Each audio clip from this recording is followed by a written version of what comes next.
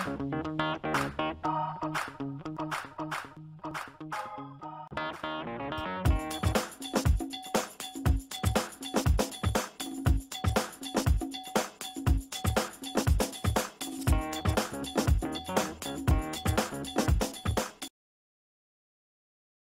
Cycle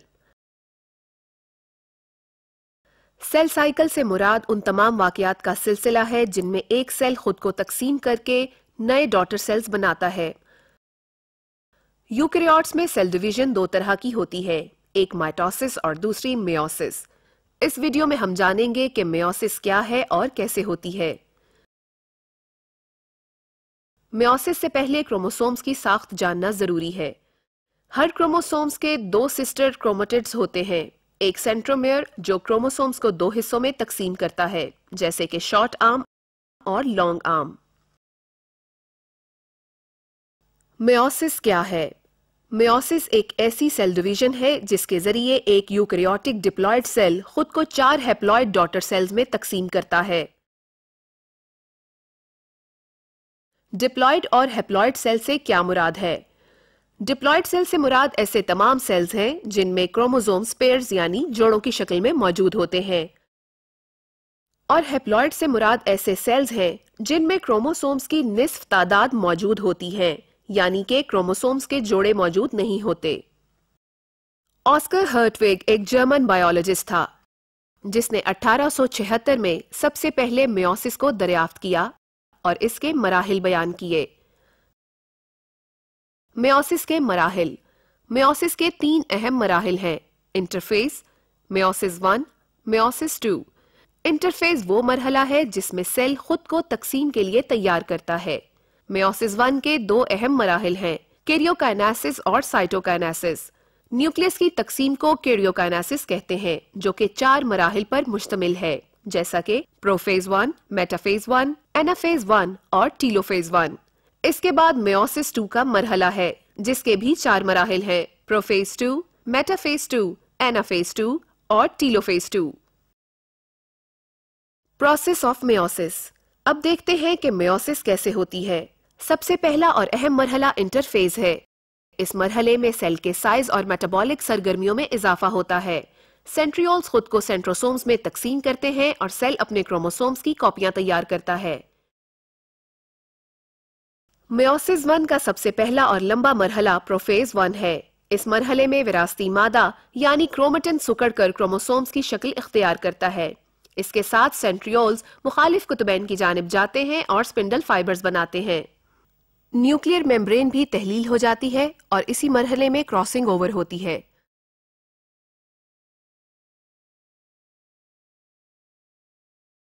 crossing over क्या है? ये वो अमल है जिसमें नॉन सिस्टर क्रोमेटिड्स लंबाई के रुख चंद मकामात पर एक दूसरे से मुलहक हो जाते हैं और क्याजमेटा बनाते हैं। इसके नतीजे में क्रोमोसोम्स के कुछ हिस्से बदले जाते हैं और यूँ जेनेटिक एक्सचेंज मुकम्मल हो जाता है। अगला मरहला मेटाफेज वन है। जिसमें स्पिंडल फाइबर्स क्रोमोसोम्स के साथ जुड़ जाती हैं और क्रोमोसोम्स खुद को खत इस्तवा पर तरतीब देते हैं, यानी कि मेटाफेस प्लेट बनाते हैं। इसके बाद एनाफेज वन का मरहला है।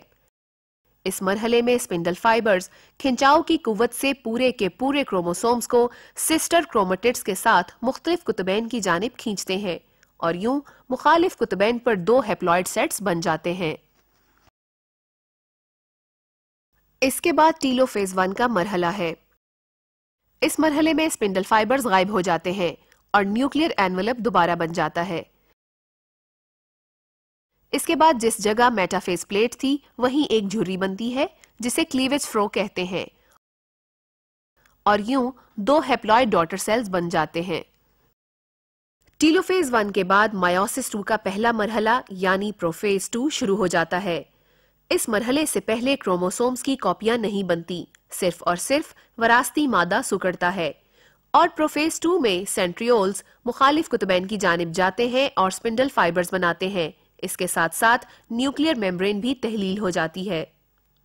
इसके बाद अगला मरहला मेटाफेज टू है, जिसमें क्रोमोसोम्स खुद को खत इस्तवा पर तरतीब देते हैं और मेटाफेज प्लेट बनाते हैं। इसके बाद एनाफेज टू का मरहला है इस मरहले में स्पिंडल फाइबर्स के खिंचाव की वजह से सेंट्रोमेयर्स टूटते हैं और सिस्टर क्रोमेटिड्स अलग होकर मुखालिफ कुतुबैन की जानब चले जाते हैं। इसके बाद आखिरी मरहला टीलोफेज टू का है। इसमें न्यूक्लियर एनवलप दोबारा बन जाता है।